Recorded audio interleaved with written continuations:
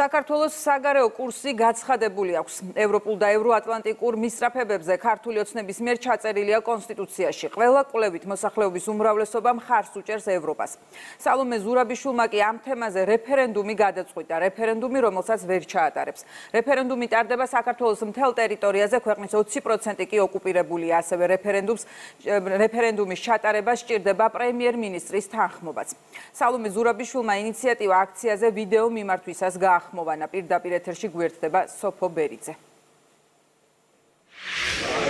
ეს ის შემთხვევაა ბოლო პერიოდში, როდესაც ოპოზიცია არ იზიარებს სალომე ზურაბიშვილის ინიციატივას, თუმცა რა თქმა უნდა, ზურაბიშვილთან ბოლო პერიოდში დამეგობრებული ოპოზიციონერები მისი კრიტიკისაგან თავს იკავებენ და მხოლოდ იმას ამბობენ, რომ მათთვის რეალური რეფერენდუმი 2024 წლის საპარლამენტო არჩევნები იქნება.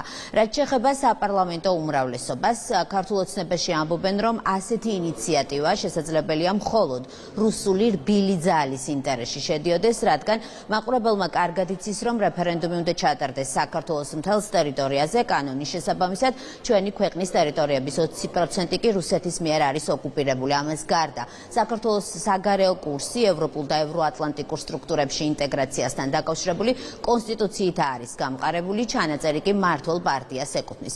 აღნიშნულმა ინიციატივამ ქართულ ოცნებას საპარლამენტო უმრავლესობას კიდევ ერთხელ დაანახა, რომ როგორც ისინი ამბობენ, სალომე ზურაბიშვილს არ უყვარს საკუთარი ქვეყანა. ისინი ვარაუდობენ, რომ შესაძლებელია პრეზიდენტმა კონსტიტუცია გადაიკითხა, მაგრამ მაინც სურდა, რომ რამე ეთქვა იმ პროცესთან დაკავშირებით, რომელშიც გამარჯვა საქართველოს და დამარცხდა ზურაბიშვილი საკუთარ ოპოზიციონერ მეგობრებთან ერთად.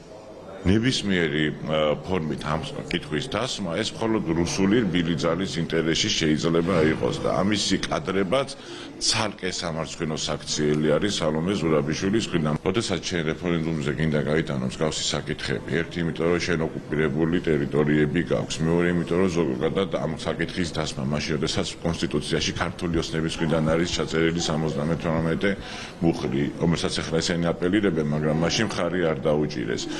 მსგავსი საუბრები არის მხოლოდ რუსეთის ინტერესში. მან არის ეს კონსტიტუცია, არის ის ქართული ერის სიყვარული თავის ქვეყნის მიმართ და მინიმუმ როგორც ერთი აი ამის გამო ვერ ჩატარდება რეფერენდუმი. მან შეიძლება ნაწილობრივ იცოდა რომ რეფერენდუმს ვერ ჩაატარებდა, მაგრამ ამბიცია აქვს იმხელა რომ რაღაც უნდა ეთქვა აი იმ წაგებულ თამაშზე, როდესაც გუშინ მოიგო საქართველოს და წააგო ზურაბიშვილმა და რადიკალურმა ოპოზიციამ. ჩვენის კონსტიტუციას გვიჭარი არის თუსაც რეფერენდუმს ვატარებთ და რეფერენდუმი იქნება არჩევნები.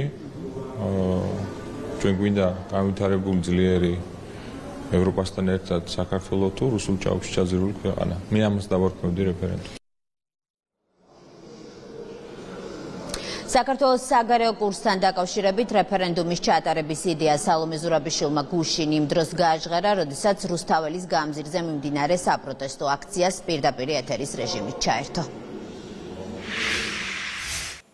პარლამენტიდან სოფო ბერიძე საუბრობდა ამ